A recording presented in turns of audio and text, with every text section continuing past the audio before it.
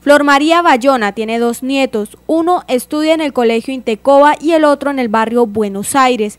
Viene denunciando desde hace algún tiempo la inconsistencia que se ha presentado en la ración del plan de alimentación escolar. En esta oportunidad asegura que el refrigerio del día anterior les entregaron a los menores mangos biches. Eh, el año pasado también fue lo mismo, estaban el PAE que llegaba con los granos era todo gorgojeado, y entonces yo también hice la denuncia. Esta vez lo vengo a hacer porque es que me parece injusto que con tanto que nos sacan a nosotros los, los colombianos, o sea, nos saca la gente de bien, nos sacan los impuestos a todo el mundo, nos sacan, tenemos que pagar impuestos y ahí sacan lo que es el PAE. Mire, esto le dieron a un niño de acá del, del y esto al otro niño de Buenos Aires, tengo dos niños.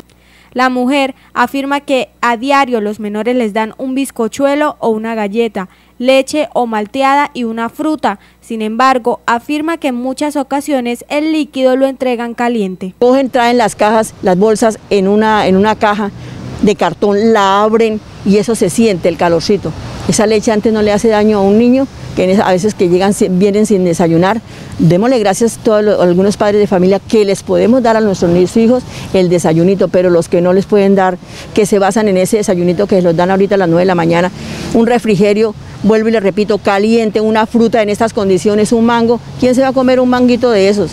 Yo me lo comería por diversión, pero yo es que para un refrigerio no me parece justo. Esa es mi denuncia.